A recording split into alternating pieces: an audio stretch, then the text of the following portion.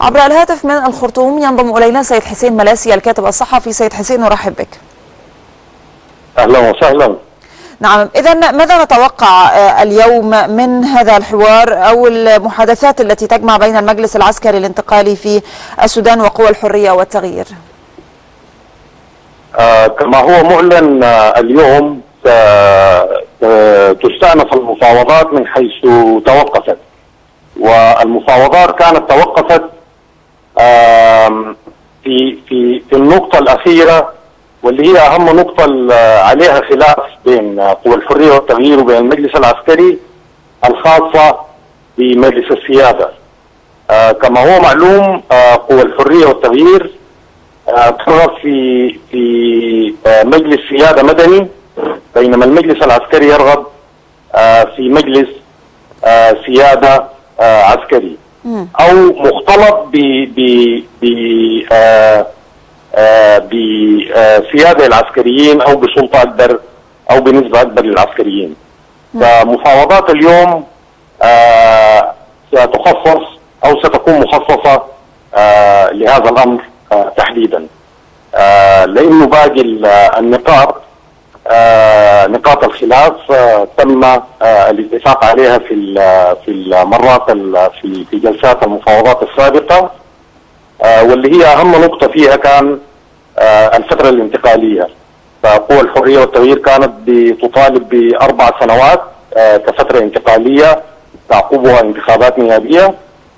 بينما المجلس العسكري كان يريد لها أن تكون سنتين. ثم اتفقوا على ثلاث سنوات كحل وسط. أما التشكيل مجلس الوزراء من مدنيين ومجلس نيابي انتقالي من من مدنيين فلم يكن عليه خلاف إلا في تحديد النسب. وقد تم تحديدها من من المرة الماضية. نعم سيد حسين إذا أفهم من حديثك ربما أن اليوم من الممكن أن يكون آخر اجتماع أو آخر محادثات تجمع بين الطرفين وتعتبر الأزمة السودانية بذلك قد حلت. إذا إذا تم الاتفاق إذا تم الاتفاق على على تشكيل مجلس السيادة وعلى السلطه هو وتم الاتفاق على سلطات مجلس السيادة ولكن المعضله أو الخلاف الأساسي في التشكيل هل آه تكون الغلبه فيه للعسكريين أو المدنيين فإذا تم الاتفاق اليوم على هذه النقطة آه تكون جميع النقاط آه نقاط الخلاف بين المجلس العسكري نعم. وقوى الحرية والتغيير آه قد انتهت نعم ولكن يعني ما الذي يدور في الأجواء السودانية في هذا الوقت عن هذه النقطة تحديدا؟ يعني ما هي التوقعات آه. ربما التي ستجمع بين الطرفين للوصول إلى نقطة تلاقي؟ التوقعات آه آه التوقعات مختلفة على حسب اختلاف المتوقع. يعني بعض ال ال الحراتيين والثوار يصرون على أن يكون تكون ال السيادة لل للمدنيين. ولكن أتوقع أن أن المجلس العسكري سوف لن يتنازل عن عن السيادة وأتوقع أن تكون السيادة في المجلس العسكري العسكريين مع تبرير قوى الحرية والتغيير لجماهيرها بان اختصاصات المجلس العسكري مجلس السيادة ستكون اختصاصات شرفية و, و وليس لها سلطه وليس لمجلس السيادة سلطة فعلية.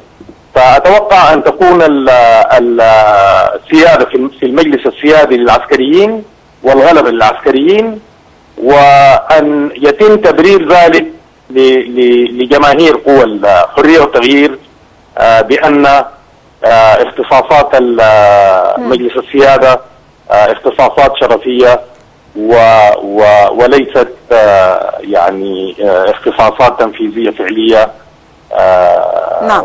وهكذا يعني. نعم. أيضا في ذات النقطة كونك تحدثنا من الخرطوم سيد حسين كيف هي الأوضاع اذا في الخرطوم؟ المتظاهرين ما هي أعدادهم؟ الاوضاع الأوضاع آه، هادئه جدا مقارنة بال بال بالأيام ال- الماضية. آه، عاد المتظاهرون إلى أو المعتصمون إلى إلى المكان المخصص آه، لل- للاعتصام أو الذي كان مخصصا للاعتصام. آه، وهي آه، المنطقة المواجهة آه، للقيادة العامة لقوات الشعب المسلحة. آه، بعدها آه، في في الأيام ال- الماضية وكوسيلة آه، من وسائل التصعيد والضغط على المجلس العسكري آه، تمدد ال- ال- المعتصمون آه، من أماكنهم إلى أماكن أخرى وأغلقوا بعض ال- الشوارع ال- الحيوية وأقاموا عليها المدارس آه، ثم علق ال- المجلس العسكري كما نعلم جميعا نعم. المفاوضات لمدة ثلاثة أيام. في هذه الثلاثة أيام آه، أو قبل يعني أو عندما أعلن المجلس العسكري تعليق ال- المفاوضات آه، على طول آه، قادة قوى الحرية والتغيير خاطبوا المعتصمين وطلبوا منهم التراجع إلى أماكنهم. فتراجعوا إلى الأماكن المحددة لل- للاعتصام ولكن للأسف بعد نعم.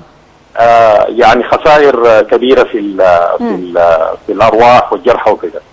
ال- المستجد الجديد آه، اللي هو القوى ال- الإسلامية السلفية آه، نظمت آه، يوم الجمعة عقب آه، صلاة الجمعة من من بعض المساجد خرجوا.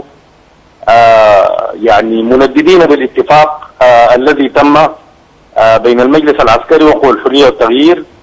ولشعورهم بأن ال- نعم. بأن في الأمر إقصاء لل وصلت الصورة. سيد حسين سيد حسين ملاسي الكاتب الصحفي كنت معنا عبر الهاتف من الخرطوم شكرا جزيلا لك.